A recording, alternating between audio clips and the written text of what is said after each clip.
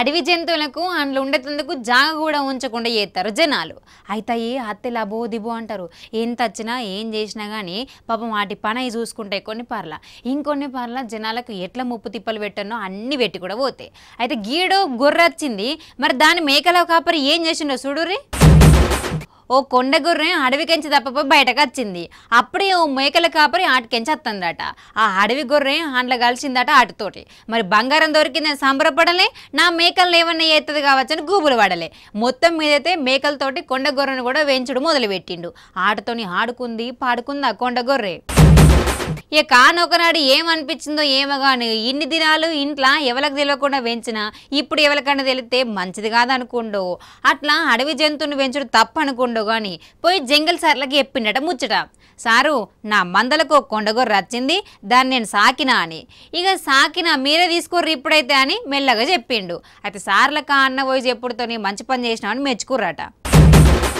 ఈరోజు మాకు వచ్చిన ఇన్ఫర్మేషన్ ప్రకారం నాగపల్లి బీట్లో నాగపల్లి సెక్షన్లోని బాలరాజుగూడెం బీట్లోకి వెళ్ళి మాకు ఇచ్చిన ఇన్ఫర్మేషన్ ప్రకారం అక్కడ రెండు మూడు ఇల్లు సో- సోదా చేయగా అక్కడ ఇది ఒక రూమ్లో కొండగొర్రె బంధించి ఉంది. అతని పేరు వివరాలు అడగగా అతని పేరు సోయం పెదముత్యాలు ఎక్కడంటే ఆ విలేజ్ పేరు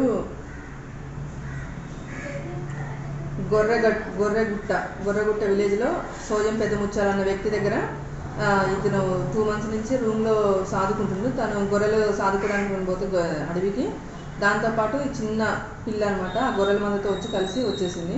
దాన్ని తీసుకొచ్చి తను తన గొర్రెలతో పాటు సాదుతుంది అనమాట డే టైం ఏమో రూమ్లో పెట్టుకుంటుండు. నైట్ టైం గొర్రెల మందలో వదిలేసేసి ఆ గొర్రెల మందతోనే పాలు దాపించుకుంటే దాన్ని సాదుతుండు ఇవాళ తనే స్వచ్ఛందంగా ఇక ఇచ్చేసింది మాకు హ్యాండ్ ఓవర్ చేసేసిండు. దాన్ని తీసుకెళ్ళి ఇప్పుడు మేము వైల్డ్ లైఫ్ కిన్యాసాన్లోని యానిబెల్ రేంజ్లో డీర్ పార్కులో హ్యాండ్ ఓవర్ చేసేస్తున్నాం ఇట్లే ఏం వచ్చినా కానీ మాకు చెప్పుర్రి ముచ్చట ఏదైనా కానీ మా దగ్గర రేవాలని అన్నట్టు మాట్లాడేది Dammapeta range officer Venkatalakshmi madam.